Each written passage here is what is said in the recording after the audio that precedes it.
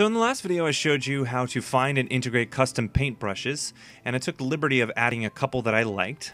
So now I'm going to show you some basic techniques that allow you to create a spot coloring effect. In print photography, this would be painting translucent color onto a black and white photograph. So here we go. We're going to create a new layer, and we're going to call it spot painting.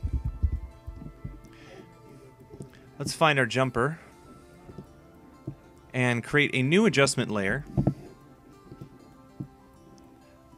and make sure it's hue and saturation. Call it runner sat. Press OK. It already directly connects to the layer, so that's good. And we want to drop the saturation down to the bottom. Now you'll notice that because I also have a color balance adjustment layer that I already made changes to, he's blue. So, if you don't want him to be blue, just turn it off and he's black and white now. I'm going to keep it black and white for demonstration purposes, but do whatever you want. That's the beauty of Photoshop. Now, we're going to go back to our spot painting layer. We're going to grab the brush tool. We're going to pick out a brush that would be interesting, and we're going to make it larger.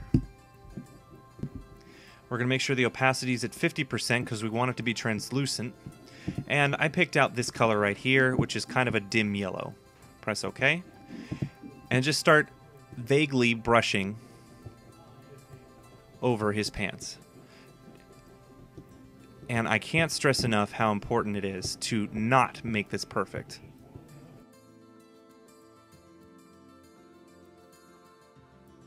Okay, so that's pretty good. You can go over it a little bit again or twi twice to create different cool effects.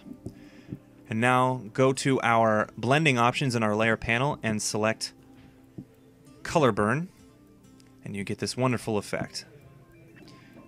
It definitely fills in co contrast and creates for some wonderful imagery. I'm going to go ahead and fill it in because I think it's going to look better that way.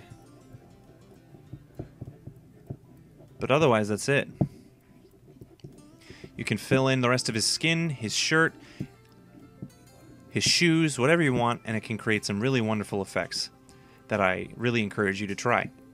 So the last thing we're going to do is talk about custom fonts and how to manipulate fonts in different ways.